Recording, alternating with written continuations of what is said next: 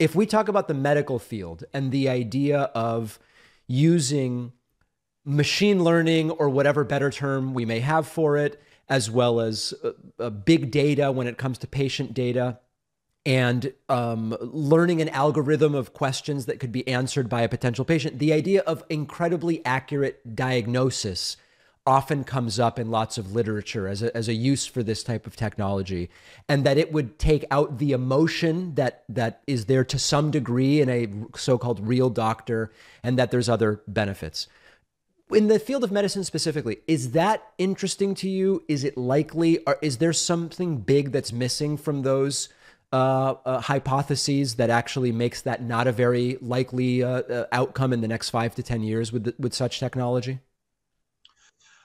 I think this is a great example of how powerful and beneficial computers can be along two dimensions. First of all, we can get much better diagnoses, as you suggested, based on more data and more analyses.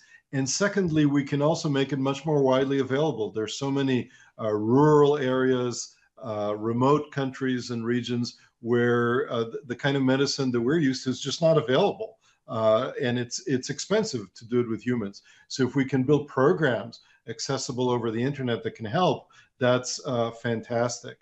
Now, I, I, think that the best use of this, certainly in the foreseeable future, isn't just the computer uh, taking over completely, but my favorite definition of AI is not artificial intelligence, it's augmented intelligence. So imagine that you have a doctor with their experience, with their empathy, being aided with this uh, indefatigable assistant that reads all the millions, literally millions of papers uh, coming out, that's gathering all these statistics, and that's making recommendations to the doctor.